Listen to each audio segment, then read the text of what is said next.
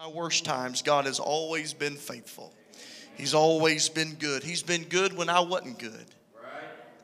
Maybe that's just for me. I'm, uh, I'm looking at a bunch of halos out there. But I know for me, the times that I hadn't been at my best, God's always been at His, and I'm thankful for that. Let me uh, let me say tonight, I'm thankful that that uh, Brother Matt Bennett from Oklahoma City is in the house tonight. Uh, will you let him know how much you appreciate? Will you stand? He served for many years in the missions department at Oklahoma City. And I'm thankful that he has been here. We have struck up a friendship. I think he's trying to send me forth to Pakistan, I believe. And so we got to, I think we're going to go over some ice cream and talk about that a little bit later. And, uh, but I, am thankful that he made the, the journey out here to Tulsa, Jerusalem. And, uh, but it's an honor that he's in the house tonight. Also, I, I, I had, um, I had lunch today with my in laws, and my father in law's here today. And uh, for those of you all that don't know him, he didn't know I was going to do this, but I'm going to do it anyway because I've got the mic and I'm standing behind the pulpit. And he can, he can get on me for this later. But uh, he is a free will Baptist pastor. Um,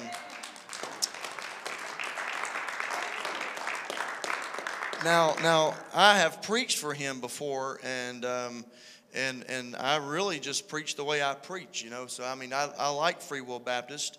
Uh, we've uh, we've we've got one thing they don't, and that's it. Y'all know what it is, and we we got the power of the Holy Ghost, and they're searching for it. And um, but he he he he told me something today that just stirred my spirit. You know, there, there's the Holy Ghost just I, I, want to be very careful how I say this, but I, the Holy Ghost just talks to me, you know, real blunt, you know, sometimes. And, and, and he's, he's living on the inside of me. And we're sitting here at this, this restaurant at Shiloh's today in Broken Arrow. And, and, and he told me something that my spirit just jumped because he said something that Pentecostals should always be saying. And a Free Will Baptist pastor looked at me today, and I'm so glad that he's family. Looked at me and he said, You know, because he, he had, a, he had a, an accident uh, a few days ago and, and he hadn't been able to sleep in his bed. He's had to sleep in the recliner because his body is hurting so bad. And, and he listened to me last night as I began to preach the word that said that you have to speak to your mountain. And see, I got, I got Pentecostals who say they got something. And I ain't quite convinced that what they say they got, they got. And uh, this Free Will Baptist father in law of mine looked at me. He said, You know what? I just tried out what you said last night. He said, I began to speak to that thing and said, You know what? I'm going to lay in my bed and I'm going to sleep like a baby tonight. And he said, for the first time, I don't know how many weeks it had been, he said, for the first time, I slept all night long on my back in my bed because I spoke to that. Th- I don't know about you, but if it was you and your miracle, you'd be doing a whole lot better than patty caking. I tell you that right now. Hallelujah. I'm thankful to know, I'm thankful to know that when the Lord said that if you'll have faith in God and speak to your mountain. That if you'll say it and don't doubt it, you'll have whatever you say. That's what he said. And he spoke it last night, and I'm glad to report that he slept like a baby in his bed for the first time, and it ain't to be the last. Can I get out? Let me try that one more time. I said he did it last night, and it ain't to be the last. Hallelujah. Which leads me right into my text. If you have a Bible, I want you to turn with me to Acts chapter number 14. Acts chapter number 14 and, and flip over a few pages to Acts chapter 19 and just stick your finger in there and, and uh, go back to f- chapter 14. Don't get scared because there's five chapters. My mother in law, who's not here tonight, she told me, on the other hand, she you, you, you get one, one in law and they'll, they'll say something to make your spirit start leaping out of your belly. And then she told me, on the other hand, to get me back down to reality, she said, Man, you really preached a long time last night. She said, I heard something about brevity, and it was the opposite of whatever you said. So uh, I'm going to try to keep this short. Uh, I said try, so that doesn't mean that I'm, I'm you got to hold me to it.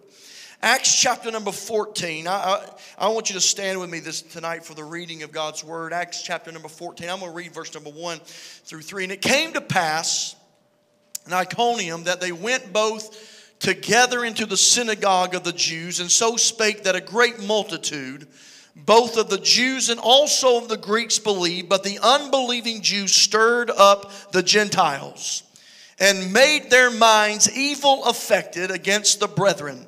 But notice this next verse. Long time, therefore, abode they speaking boldly in the Lord, which gave testimony unto the word of his grace and granted signs and wonders to be done by their hands. Now flip over to chapter 19. Look at verse number 11. I'm going to read this out of the New King James. It said, Now God worked unusual. He worked unusual miracles. I, I want to stop there and look at and tell you that does not mean take two Tylenol and call me in the morning the Bible said that God worked unusual miracles by the hands of Paul, so that even handkerchiefs or aprons were brought from his body to the sick, and the diseases left them, and the evil spirits went out from them. Father, in the name of Jesus, God, we give this service to, over to you. I ask you tonight, God, that you will take it, God, that you will throw your weight around tonight and show the devil who is boss. God, I ask you tonight, Lord, that you will heal somebody, that you will deliver somebody, God, despite what the medical report, despite what the doctor's report has said. God, we ask you tonight, Lord, that you will perform unusual miracles. God, that we will know that Jehovah Rapha is still on the throne, uh, that you are the God that heals us. And we thank you tonight that you will show yourself alive. Uh, and it is in the miraculous and powerful and the majestic name of Jesus Christ uh, that we pray. And somebody shout with the preacher, Amen and Amen. Look at somebody before you're seated and tell them it's my time for my thing from my God. Go ahead and tell them. Hallelujah. You can be seated. Acts chapter number 14, where we begin tonight, is one of the most intriguing uh, passages to me because uh, this passage is basically talking about, in fact, there were what was going on here in the scriptures. There were some unbelieving Jews who were basically going on a whispering campaign. uh, we might have fun tonight. They were going on a whispering campaign, didn't even have the decency to catch them out in the, in the lobby or the parking lot. They were whispering in the middle of the church service and they were whispering because what they were wanting to do was to cause uh, confusion and disbelief and suspicion about the things that Paul and Barnabas were preaching. Uh, they, they weren't waiting for the service to be over. They were doing it while Paul was on point number two, uh, short of his poem uh, Paul is preaching. I can just see Paul preaching his heart out. And there are some unbelieving, matter of fact, the actual translation says they were rebellious Jews. Uh, they were church folk who declared one thing but were living another. They started whispering. That's why I always pay attention when I'm preaching, uh, when people start whispering. Um, it says that they started whispering while he was preaching in the ears of the Gentiles to stand against the word of God and to begin to doubt uh, those who are standing for truth. And I, I read that passage and I just stopped uh, and I began to look at the American church. And may I tell you that that same spirit is ever true today. When you are standing for truth, uh, when you are proclaiming the gospel, Satan will try his best to cast doubt and unbelief in the minds of people who are hearing the word. Just like a plague, just like a disease, he attempts to get people to not be receptive to the word of God. So while the preacher is preaching on healing, the enemy begins whispering in your spirit, Oh, yes, some healer Jesus is. Uh, you're sitting here and your body's racked with pain. Some Jehovah Rapha, he is. You went to the doctor and proclaimed your healing, and he said that what you had has already spread throughout your body. Oh, some Jehovah Jireh, he is. Some, some provider, God is. Uh, they found out today that, that, that your house is going into foreclosure. You found out that you, you can't pay your bills and you've been laid off uh, from your job and, and this ain't working out. But you go ahead and, and believe all that spiritual stuff. Uh, this is reality. And what is happening is the enemy is trying to place seeds uh, of doubt and unbelief uh, to get people to reject uh, the word of God. But this is what got my attention. This is what made me begin to just shout up on the inside. Is while all of this was going on, while all the whispering and the talking and the not paying attention was going on, while Paul was preaching the gospel, it said that he kept right on preaching. Because can I tell you that a testimony will outweigh an opinion uh, any day of the week uh, because Paul knew uh, that if God be for me, uh, who in this world uh, could stand against me? Uh, it makes no difference when people try to distort what is true. If you have got a testimony, you can preach the gospel and you don't have to be afraid. You don't have to run away, but you can square your shoulders back and declare, Thus saith the Lord, regardless of who or what that tries to get in your way. Your Bible said that Paul and Barnabas. I like this that they had a revival meeting because it said they stayed in town for a long time. And there they spoke boldly uh, into and for the Lord. Uh, and because they preached the word uh, and because they preached the gospel, the Lord had their back uh, the entire time. Uh, that lets me know uh, that when you're doing something for God, if you're standing for God and proclaiming the word of God, then God himself will come to your side. He'll stand with you when nobody else uh, wants to be by you. Uh, matter of fact, that same Paul said uh, that all men forsook me, uh, but the Lord uh, stood by my side uh, and he gave me strength. And when they spoke the word, turn me back up, when they spoke the word of God with boldness, God himself, your Bible said, gave testimony uh, unto the word of his grace. And he did it because he granted uh, signs and wonders uh, to be done by their hands. So that lets me know this. When you declare the word, the Lord will have your back.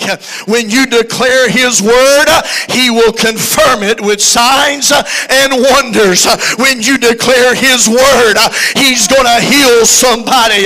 When you declare His word, He's going to set somebody free. When you declare His word, He's going to put somebody's family back together again.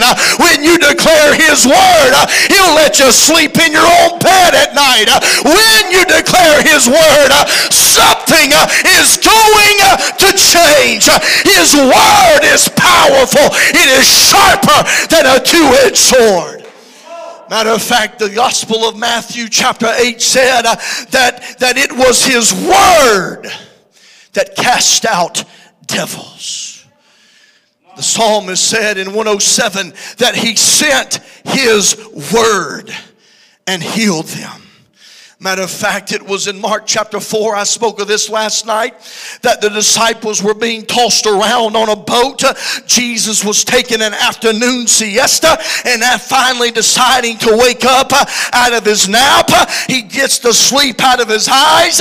He walks up to the bow of the ship and begins to speak the word. The word began to speak the word. And he said to the winds, Wind, be still. And the Bible said that the wind ceased. That's where we like to stop. But the Bible keeps on going and said uh, that there was a great calm. You know what that lets me know? If you want peace in the middle of your storm, speak the word. If you got sugar diabetes and you want it to regulate, speak the word. If you've got rheumatoid arthritis, and you wanted to get out of your body, speak the word. If you want a great calm in the middle of your chaos, speak the word. For when we speak the word, we should expect nothing short of a divine miracle. Because I am just convicted enough to know that when God's word goes forth, there are miracles in the air. So if you need a healing in your body tonight, speak the word. If you need deliverance tonight, you don't need a preacher. You need to speak the word. Let me take you to another passage of scripture. I'm almost done. Can you believe that? Your Bible says in Hebrews chapter number two, I wouldn't either. Hebrews chapter number two, it said that therefore we ought to remember the things that we have heard, lest any time we allow them to slip. I wonder how many church services we've been in. And we can't tell the preacher what they preached on last week because we've gotten in such a routine of churching. Because this is just what we do. Uh, there, there's been things in my life that of importance that somebody will say something to me and I can tell you a year later what they said, what I was wearing the day they said it, where I was standing when I heard it because it is forever in, stamped in my mind. But as church folk,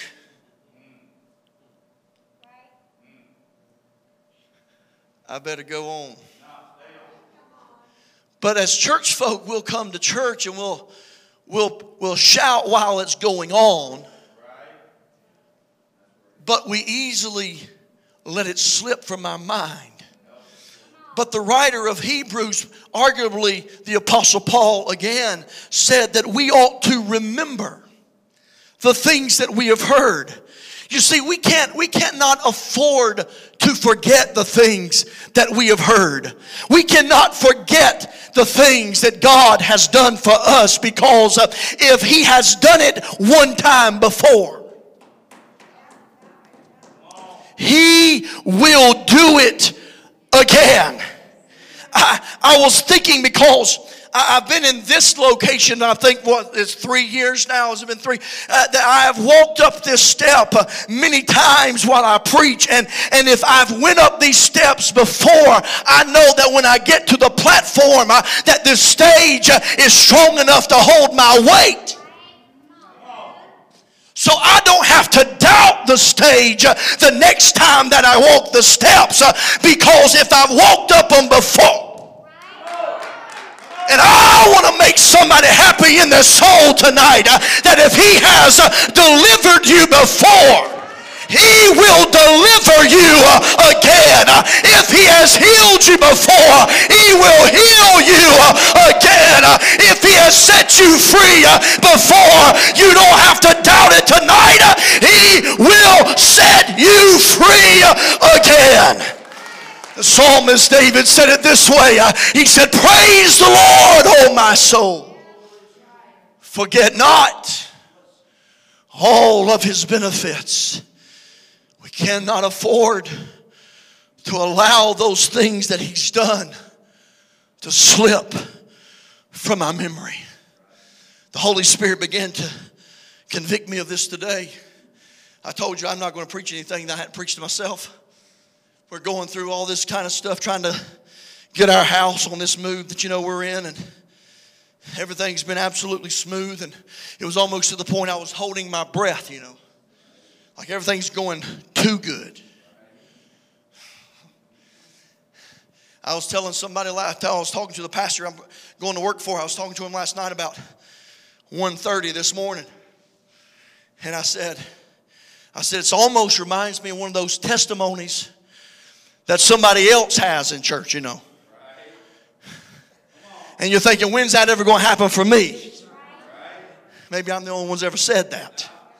But uh, so we, I thought I had a, I thought I had a, a, a little roadblock this afternoon, and while we were eating lunch today, I think my, my father-in-law even said, he said, he said, park it just for a minute. I can see smoke coming out of your ears because I, I was thinking, I was trying to, I was trying to, to beat the, the roadblock. You know, I'm trying to stay a, a, a step ahead of the game. That's how I, that's how I roll. You know, and, and, and the Lord, I got back to the house and the Lord convicted me. He said, You remember when you first got married and you lived your first year at your mom and daddy's house? You remember that? Remember how fun that was?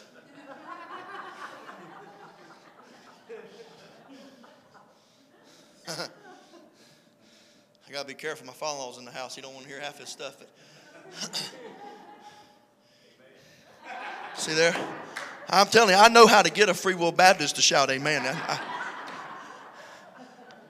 but he convicted me today. He said, You remember? You remember? You remember when Remember when you got your house that you're living in now? And the only thing that you and your wife had was a blue metal. Can you turn me up? I can't hear myself. He said, he said, he said, the only thing that you had was a blue metal folding chair. That's all we had. It was in February when we got in the house. It's cold in North Carolina. I never had a fireplace. I didn't know about those starter logs, you know, back then, you know. So I was outside trying to do it the Boy Scout way and get some wood and try. Saw that didn't work. That's just stuff for Hollywood. And I went to Burger King and we got us some, some cheeseburgers and we I finally got a, a, a fire that looked like a it, it was ridiculous. Like it was embarrassing. Now, I mean, I can make one blaze now. I mean, it's been a few years, but that first time it was it was rough. But she was, you know, oh, I got a little fire. I was sitting here with a, a cheeseburger in front of the fireplace, you know, and as a romantic meal with a blue metal folding chair. That's all we had. And every time we go to a revival and we preach, and somehow or another, God always gave us a little extra. And I remember we went to Ashley, went to the we went to the Ashley store, the, the one where everybody they don't want this, so we're gonna we're gonna lower it. It may have a little crack down the middle, or we're gonna. And I remember we got our, our first pleather couch. And how I cried over that thing. Because we went from a blue metal folding chair to a pleather sofa.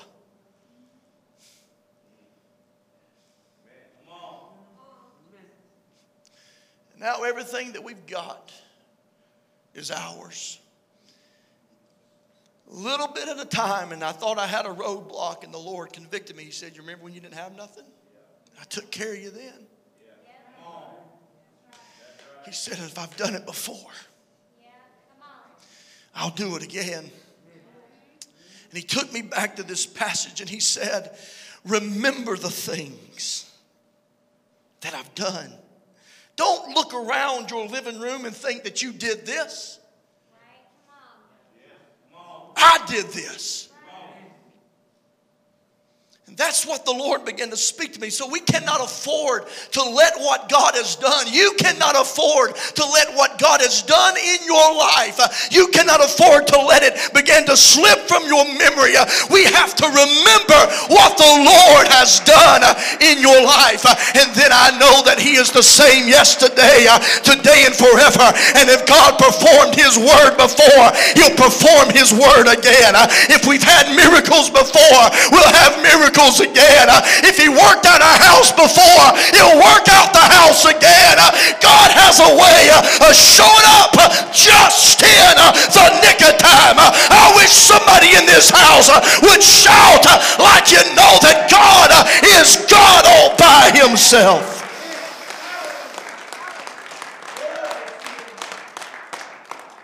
But this is what got a hold me. Staying in Hebrews and Verse number three in that passage it said, When you hear the spoken word of the Lord, it said, God is going to confirm, to confirm his word. I thought, how? He said, Well, I'm glad you asked. He's going to bear witness. Both with signs and wonders and with miracles and through the gifts of the Holy Ghost according to his will.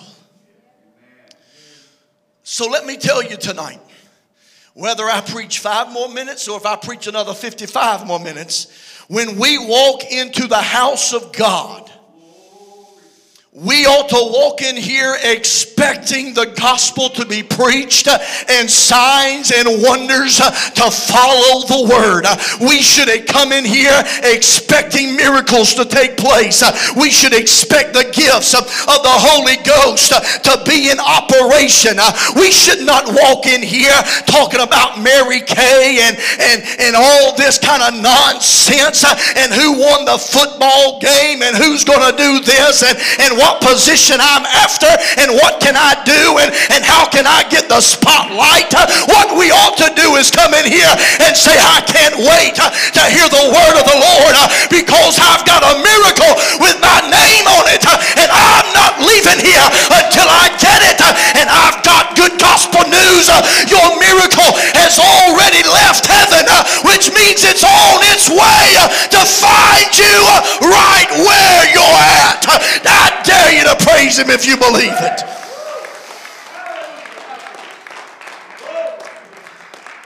So make no mistake about it. I don't preach for your applause. I don't preach for your pats on the back. I don't preach to get recognized or for headquarters to know my name.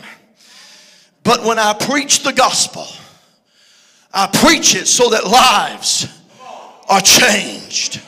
I preach the gospel because I, I want to see what only God can do. I, I preach the gospel because I expect uh, the gifts of the Spirit uh, to be in operation. I, I preach the gospel because I want to see uh, Holy Ghost manifestations. I, I preach the gospel so that my father-in-law can hear the saith the Lord uh, and can speak to his body and say, I'm healed uh, and he sleep like a baby. That's why I preach the gospel I expect signs and wonders to confirm this word.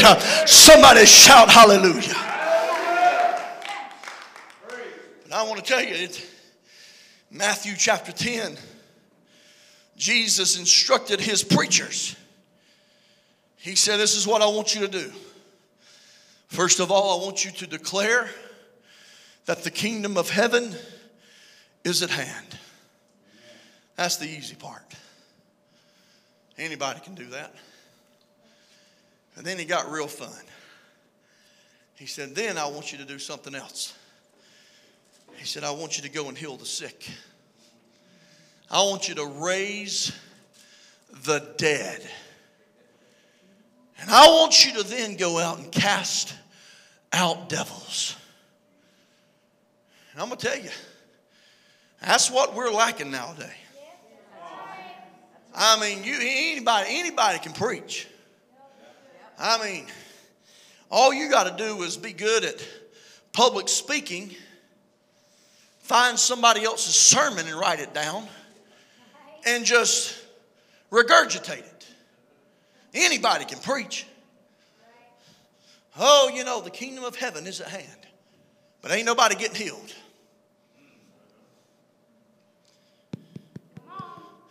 We're preaching, but ain't nobody getting delivered. We're preaching, we're making a lot of noise, but ain't no devils being cast out. Uh, because we've got this we've got this new gospel you know. We, we got this feel good gospel. We don't want to we don't want to offend nobody. We want to we don't make want to make nobody uncomfortable. We want to put a band-aid around their cancer and tell them everything's going to be all right we don't want to call sin sin anymore we don't want to look at a liar and tell them they're going to hell. We want to say, well, you know, you're just probably, you're just a, you're, you're, you're an extrovert with a lively imagination. No, you're a liar. And it's a sinner. And the soul that sinneth, it will die. But we don't have preachers with a backbone anymore to preach, thus saith the Lord. Uh, they just want to have this gimme gospel. But I want to tell you, for as for me and my house, when he said that these signs will follow uh, them that believe. I just believe uh, in my heart uh, that in the name of Jesus uh, that we're going to cast uh, out devils. Uh, I believe tonight that when we lay hands on the sick, they shall recover. I believe what he said. And if he said it, you can take it to the bank because he's a God that cannot lie.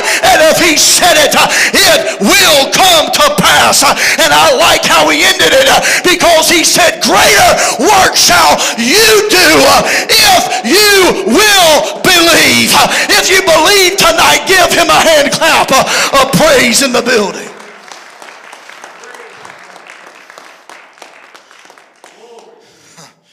I'm closing. Which means absolutely nothing. I just hear those hot shot preachers say that. Thought I'd throw it in. But I want to take you there in Acts chapter 14 where I get back to my text. And we'll skip down to about verse number 8. And your Bible said that there sat a certain man at Lystra. Said he was impotent in his feet, being a cripple from his mother's womb who had never walked. But then the man of God took the platform. And it said that this man heard Paul preaching, who steadfastly behold him and perceiving that he had the faith to be healed, said with a huh, I like this. This this gives me the permission to tell the sound man turn me up. Because Paul did not believe in no quiet coffee shop church.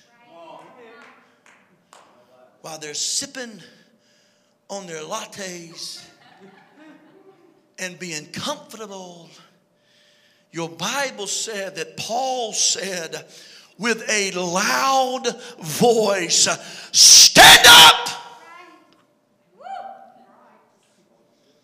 And your Bible said that when he said, Stand up uh, on your feet, uh, that your Bible said that that man who was born crippled uh, leaped up and began to walk. I then flip over my Bible a couple chapters later and I saw a little slave girl who was possessed by the devil. She was being used to fortune tell and to pad the pockets of her owners. And the Bible said that she started following Paul around the city one day uh, and she was wreaking havoc everywhere that she went. Uh, and she'd been causing a stir in the city. And finally, Paul, who had a backbone, uh, unlike most preachers in America today, he had enough of it. He turned around, looked her right in the eye, and said, In the name of Jesus Christ, you devil, come out of her. And it said immediately, she didn't go to Christian counseling. Uh, it said immediately uh, she was set free. Uh, that's what kind of power we've got if we'll proclaim the Word of God. If you'll ever so carefully flip your Bible again over to chapter number 19 in the book of Acts, your Bible said that Paul found his way to the city of Ephesus. I like this passage, it kind of cracks me up because it said that he found some fellow believers and he asked them. Now, I'll be careful here. You know, my father in law is Free Will Baptist, so I'm not talking about the free wills. Apparently, Paul found the deacon board at the First Baptist Church of the Church of Ephesus because he looked at them and this is the words he said to them. He said, Have you received the Holy Ghost since you believed? And the deacon elder said, from the First Baptist Church, he said, I don't have a clue what in the wide world you're talking about. I ain't never heard of such Holy Ghost. I was reading that and I thought to myself, that's the wrong thing to tell a man who's had an encounter with the third person of the Trinity because it said that he laid his hands on the deacon board of the First Baptist Church uh, and he said, Receive ye uh, the Holy Ghost. And the Bible said that those boys uh, began to speak in tongues and they started prophesying. That's what happens when you confirm the Word of God. He'll show up with signs and wonders and miracles, shouting amen to the Word of God. You'll never convince me, never convince me that the days of signs and wonders are over. There may be some whispering going on in our churches. There may be some doubting if that Holy Ghost thing, you know, that tongue talking stuff, if that's real or not. But I'm going to tell you something. I'm going to be like Paul. I'm going to keep on testifying. I'm going to keep on testifying. Bro, if you'll just if you'll turn that altar music on just real real soft, don't don't blare me out on this one. I want to I want to end on a couple of testimonies right quick. I, it was it was in May of 2018. I was in I was in Michigan, I think. Michigan, Indiana, somewhere up there. And there's a lady that lives here in Oklahoma. Who the doctors had told her she had cancer and that was it. It was over. She was done for. I was preaching at the General Baptist Church up in Michigan. General Baptist is a fancy word for their free will Baptist is what they are. I mean, so they ain't scared of this thing. I preached a Sunday through Wednesday night revival. Preached just as hard there as I preach here. And on Wednesday night, the Lord said, You're going to give, you're going to, you're going to call a healing service. And I said, Are you kidding me right now? You want me to have a healing service in the Baptist church? They ain't down with that, bro. He said, That's what you're going to do. So I had a healing service. I told the pastor, he said, Go for it. I went for it. Took me about an hour to pray for all those people. There was probably 85 people there that came down to the altar for every sort of sickness and issue that they had. We prayed for every one of them. The Lord told me, He said, I want you to go and FaceTime Pam She's in Oklahoma. We're in Michigan. FaceTime her. We got the phone. We FaceTimed her. I could see her. She could see me. I said, Pam, I'm in Michigan. And we're in a healing service. And the Lord told me to call you. And we're going to pray for you. And I scanned the crowd. I said, Pam, we're at a Baptist church. Don't let that freak you out, Pam. I said, Pam, we're going to pray for you. And I went to that passage in Acts chapter 19 that God did unusual miracles through the works of Paul, through handkerchiefs and aprons. And I said, Pam, I, I hadn't got good enough of a preacher yet to use that little white handkerchief, you know, those hot shots use, nicely folded and stuff. And I don't know how they do it. I mean, I get in my living room sometimes when I'm by myself and I try it out and I just can't do it. I try to be real cool like those, those big shots. You don't have it right there in your back pocket. I can't do it. I said, Pam, I get real hot and sweaty when I preach this, and I got a, I got a towel because I'll be soaking wet. I said, but this, this, this towel has went all over this country. Yeah, it's wiped my sweat, but that ain't no, no big deal. But what it has been has been in some revival services. It's been in revival services, Pam, where I prayed for people and I watched them be healed. I said, Pam, what we're going to do is we're going to saturate this towel. We're going to saturate it with oil and we're going to pray for you.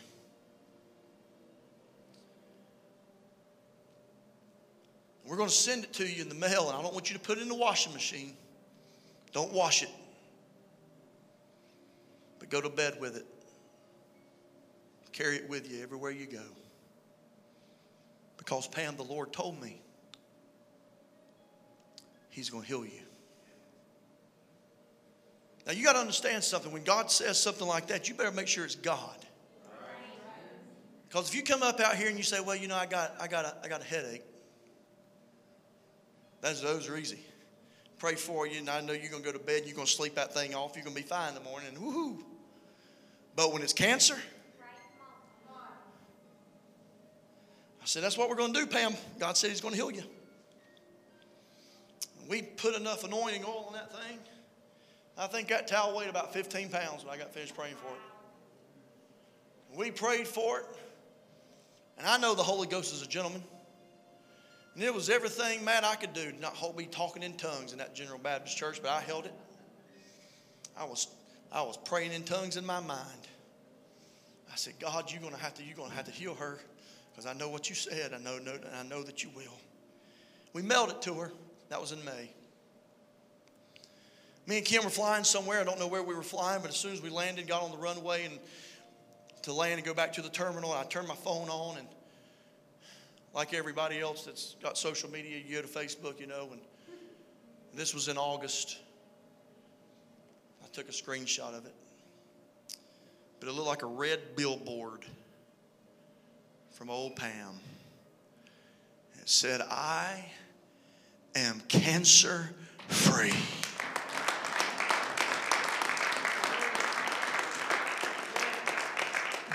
Don't catch me back there and try to tell me that the days of signs and wonders and miracles are over. I remember when we first started evangelizing. We were in Marietta, Georgia, right outside of Atlanta. And I was preaching, and this woman came up to the altar. And when she walked up to that altar, I'm going to tell you, the devil started fighting my mind. Because she had a tumor on the side of her neck about the size of a grapefruit. And the devil said, You met, you met your match now, hotshot. What you going to do now? Because everybody can see that. I got that oil, poured it on my hands. And I slapped my hand against her neck. And I felt that tumor hit the side of my hand. And I said, In the name of Jesus Christ, be healed. And I felt that tumor dry up from off my hand and off of her neck. And she walked off her neck as smooth as mine. Don't tell me that signs and wonders are over.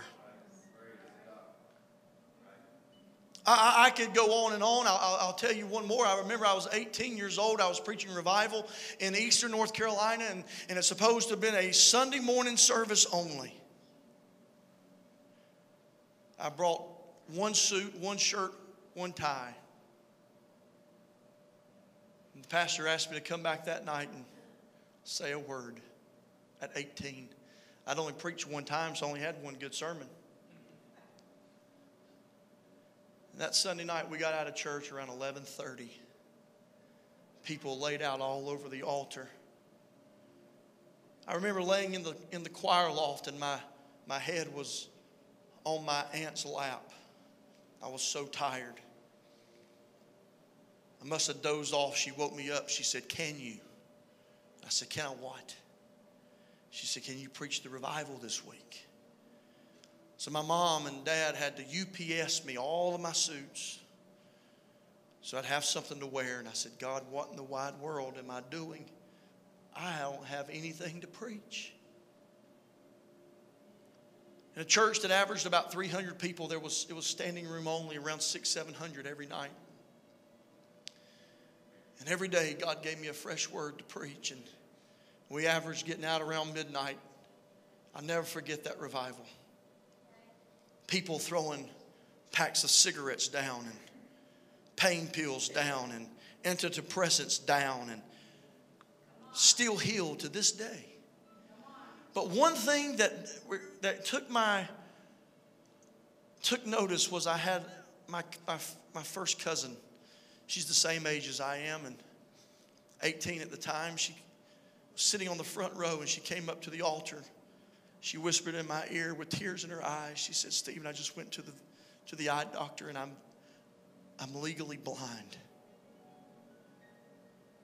The music was rolling. I mean, it was Pentecost from the top to the bottom. I mean, it was absolute spiritual mayhem. Drums going, the guitars going. They were in the middle of a verse, and I just cut it off right then, just stopped it. And I said, if you're all right with your family being sick, you go ahead and don't have that but he's messed with the wrong one. And I laid my hands over her eyes, began to pray for my cousin.